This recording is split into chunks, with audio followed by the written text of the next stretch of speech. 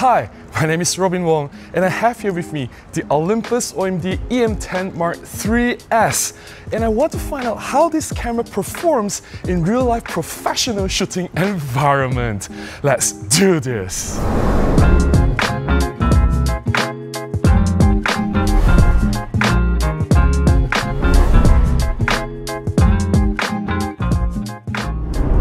Before we dive in, here are some important disclaimers. I'm an Olympus visionary ambassador to the Olympus brand. This is not my camera. The EM10 Mark III's is on loan from OMD World Imaging and I have to return this to them after this. This is also not a review of this camera. I believe you can find a lot of EM10 Mark III reviews out there and the EM10 Mark III's is just a revision of the EM10 Mark III. Both are practically the same camera. However, I do want to find out if this EM10 Mark III's can perform in a challenging shooting environment when I bring out to shoot on jobs. The EM10 Mark III's is an entry-level Olympus OMD camera. Being an Olympus OMD, it shares some similar DNA with the flagship EM1 Mark II and EM1 Mark III. The camera is very well constructed, it feels really solid in hand. The handling is very good as well. There is a thumb hook at the back and a beefy hand gripping area at the front for comfortable handheld shooting. There is a built-in electronic viewfinder which is large, bright, smooth and very comfortable to use. At the core of the camera it features a 16 megapixel image sensor from the older generation but at the same time it has the flagship level image processing engine, the TruePic 8 which is similarly found in the EM1X and EM EM1 Mark II, both flagship cameras from Olympus. More importantly, the camera also has a powerful 5-axis image stabilization, which can be very useful in a lot of shooting scenarios and for stabilized handheld video shooting. Being an entry-level camera, the camera does miss some advanced features like Pro Capture Mode, handheld high-res mode, and face detection autofocus, all available in high-level cameras like the flagship EM1X or the EM1 Mark III, but I don't think these are deal breakers. Although this is an entry-level Olympus camera, being an OMD camera, it is still really reliable. It can deliver fantastic results.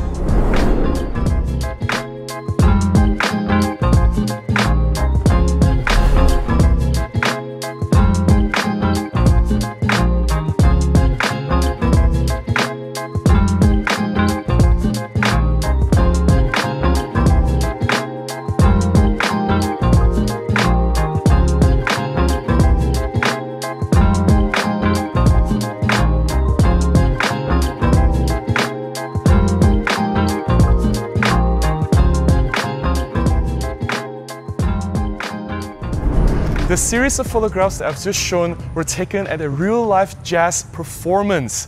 I was privileged to shoot Janet Lee and Tay Cher Siang, both very prolific performers in Malaysia. I prefer to show real-life sample images in real professional shooting environment. Unfortunately, that's not the case for a lot of YouTubers or photography reviewers. A lot of them just take random photographs, look at a photograph which has no context, they zoom in and say, ah, Micro Four Thirds cameras are so bad. It has bad dynamic range, it has no enough resolution, it has horrible high ISO performance, blah, blah, blah, blah. And there is no substance in the review.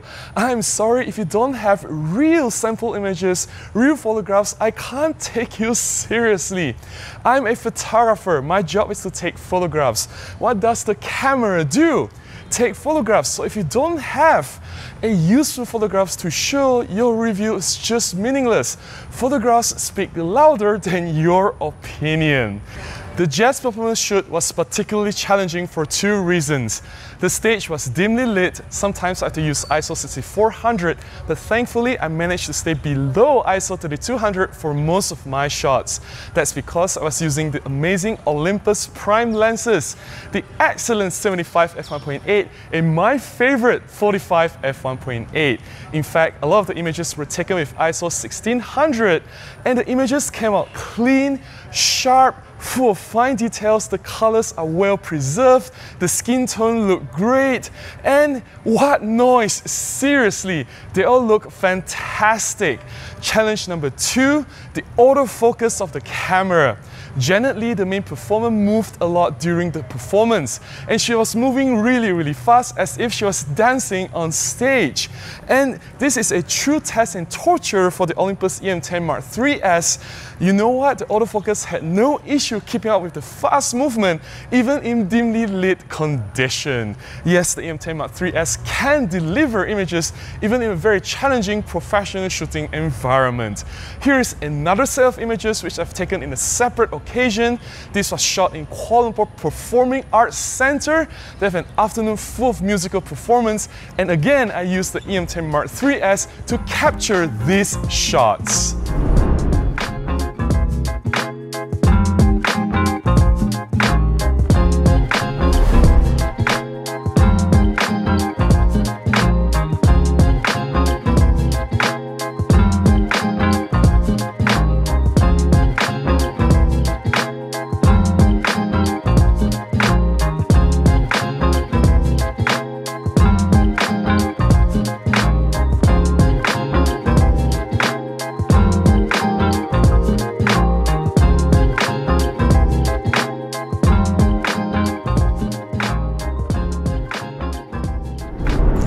Besides the two live music performances that I've shot with the EM10 Mark III's, I've also brought the camera out for a night street shooting.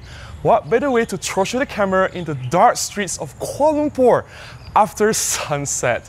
This time, not only if I've used the high ISO for some of my shots, but I also put the 5-axis image stabilization to test and really see how it can benefit in dim lighting condition. And you know what? The 5-axis image stabilization did not disappoint. In a static scene where there's no movement, I would lower the ISO to maybe 200 or 400, or lower the shutter speed as slow as 1 to 2 seconds, and rely on the 5-axis IS to get the shot. And you know what? It confidently steadied the camera for these shots, even handheld with no tripod and support for 1 to 2 seconds. Imagine if you are using a camera with less powerful image stabilization from other brands, I don't know, pick your brand, whichever that you like. Maybe you need to use 1 over 10 of the shutter speed or 1 over 20 of the shutter speed to handhold a scene. I can get away with 1 to 2 seconds. So if you need ISO 3200 or 6400, high ISO, right? For full frame cameras, you have no noise and no problem, but I'm shooting with ISO 200 or 400 with my Olympus OMD. My ISO 200 will still outperform your ISO 6400 in the same situation. This is where the 5-axis image stabilization is a real weapon for Olympus OMD and can be a game changer and match the performance of other more capable cameras out there. Please do not underestimate what the 5-axis image stabilization can do.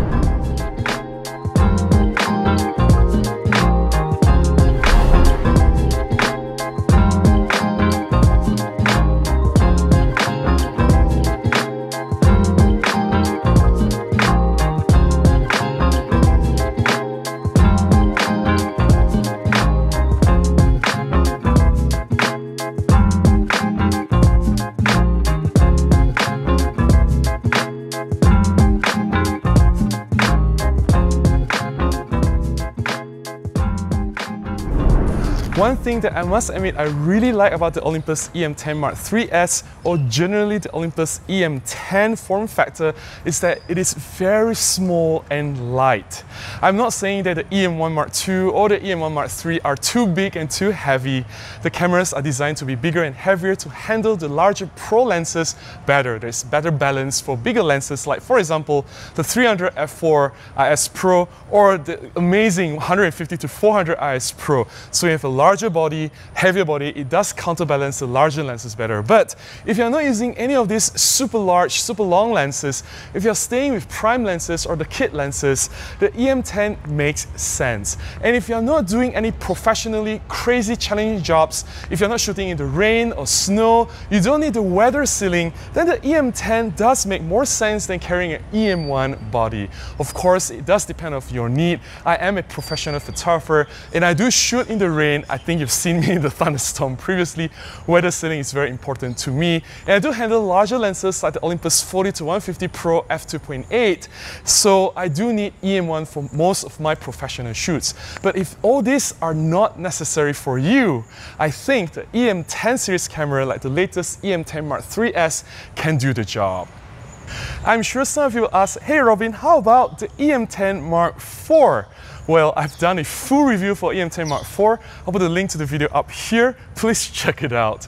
The EM10 Mark IV is a huge upgrade from the EM10 Mark III or this EM10 Mark III's. It features a new 20 megapixel image sensor, which is a step up from this older 16 megapixel sensor in this camera. The EM10 Mark IV also has a more powerful image stabilization. It has a few more features. It has a reworked autofocus algorithm for video recording and a re redesigned hand gripping area which is better for handling. Of course, that comes at a price. The EM10 Mark IV is definitely more expensive than this EM10 Mark III's. It all depends on your budget. If you can afford, then of course go for the EM10 Mark IV, which has better features, better image sensor. But if budget is a concern, then the EM10 Mark III's I have just proven to you in this video that it can still deliver great results and perform in a really challenging shooting environment. Don't feel anything less when you own this. This is still an Olympus OMD camera, a fully capable camera that can deliver results.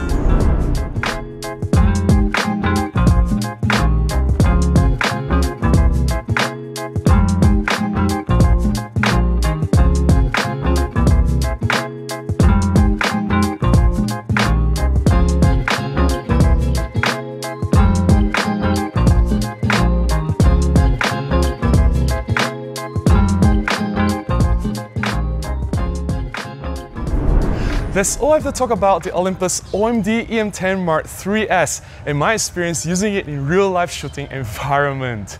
If you've enjoyed the photographs that I've shown in this video and benefited from my sharing, please consider buying me a cup of coffee or you can contribute directly to my PayPal account, links in the description below.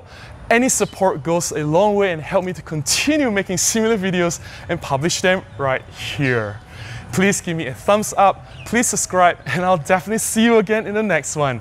Until then, please go out and take more photographs. Bye-bye.